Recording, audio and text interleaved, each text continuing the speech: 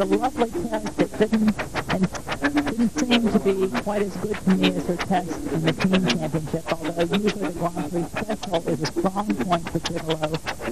He usually scores higher in this than in the Grand Prix. Cantering pirouette, hind legs must stay on the mark. We saw there he came a bit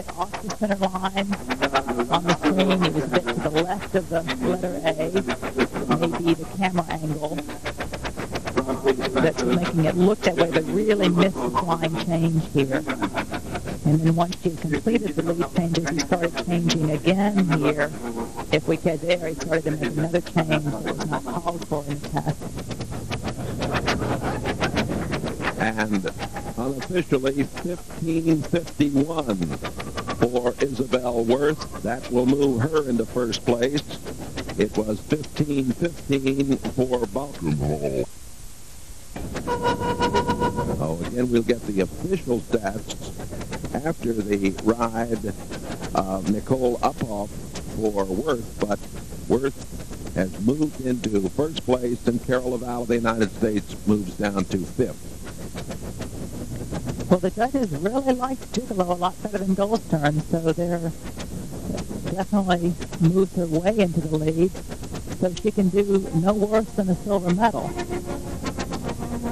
And With only one rider left to go, so now she has to sit and watch to see whether hers will be the silver or the gold. Rembrandt has been known to be a spook. Often, the only time he's lost major championships is if he had spooked in the ring where he lost his attention. barring a disaster, Germany's going to get all three medals here in the individual. Nicole Uphoff on Rembrandt, 15-year-old Faye Westphalen. In 88, West Germany won four of the six equestrian events, including Nicole Uphoff's victory in individual dressage. She is 25 years old, born in Duisburg, the daughter of a contractor and a brilliant, brilliant horsewoman. This horse can afford a mistake or two because we did see a mistake or two in Gigolo's test. But to assure her the gold medal, she is trying to ride an error-free ride. This horse has the brilliance. The judges love him. Everyone in the world loves him. So he can afford a mistake or two in accuracy in the technical part of the test because his brilliance, his natural, lovely way of moving will carry him through. This horse puts me more in the mind of the American thoroughbred.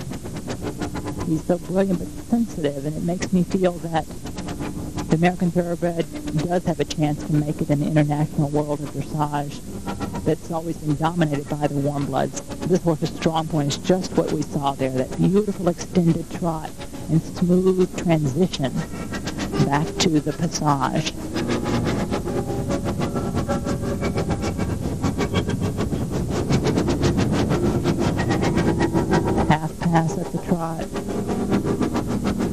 So regular.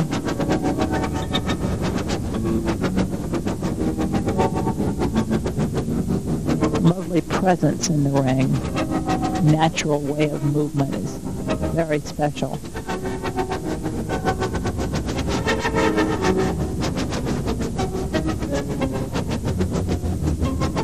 Passage work.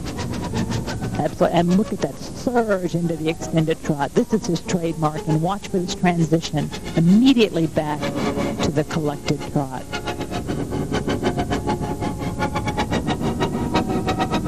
That's where the brilliance comes out. And Nicole is showing that she's ready to go all out for this gold medal.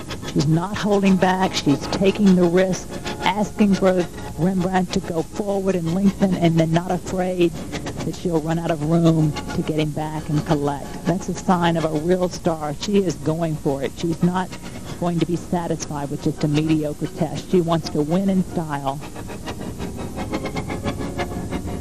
He looks a little hurried at the walk. The judges are looking for total relaxation, but she's also showing extension at the walk. She's not afraid to push him, although there's always a chance he could break to the trot. That wouldn't be disaster, but definite penalty points. Collecting the walk here, it must stay even and rhythmic. And I'm sure she's holding her breath right now, holding it all together. You saw a little tension there as he made that turn. He knows that the next movement, and this Piaffe is so lovely. As Robert Dover described, he looks like a metronome. It's so regular. This is the high point of this horse's test. His real asset is the ability to do the piaffe and passage work so smoothly and effortless. he doesn't sit down behind as a lot of the horses will do or up. But because he doesn't put so much effort into the motion, it's so easy for him, he stays relaxed in the movement because in his mind, it's no effort. He's not having, he doesn't appear to be working as hard as some of the other horses. You're just joining us. This is the last rider in the individual dressage final of the Barcelona Games of 92. Nicole Uphoff, her teammates Werth and Balkenhol, 1-2 at the moment. She's trying to get the gold and make it 1-2-3 for Germany.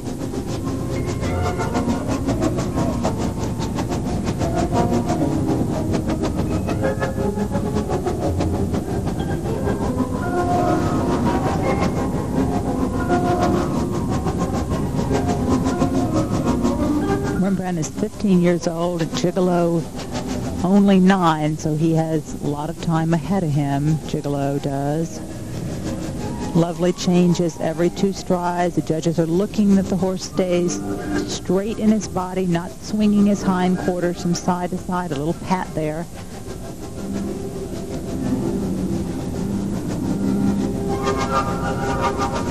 Now we're looking for 15 changes. That's eight. 15, finishing on the left lead. Perfect there. The technical part of the test has been performed right to the letter. Nicole performs all of her transitions right on the mark. Oh, beautiful extended canter. And this was where he spooked a little the other day.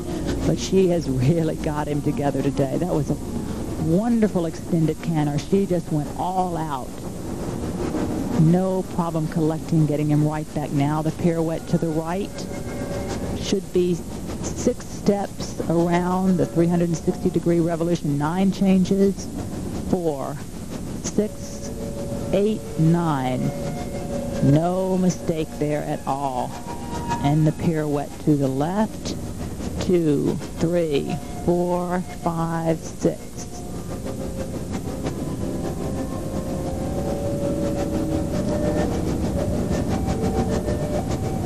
Medium trot. She's showing the judges here, asking for a bowl, trying to watch this transition right back.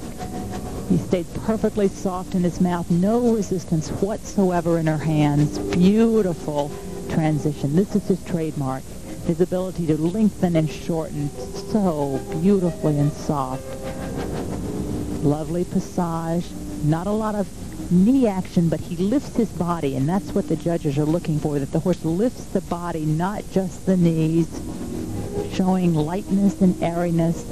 This has been a just spectacular test. Error-free, no spooks. This place will just go wild. Beautiful performance. It's, it's got to win the gold medal. Well, the question before the House is, will it be good enough? A score of 15, 52 or better will win the gold medal for Nicole Uphoff of Germany and would move Werth to the silver and Balkenhol to the bronze.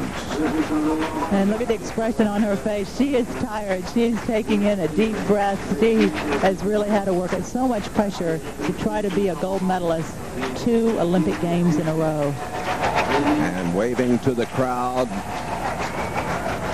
Carol Lavell of the United States will finish sixth in this individual competition. Melanie, very fine performance for Carol. Oh, terrific. What a great boon for our dressage competitors in the United States to have a tremendous leader in Carol. Werth has a score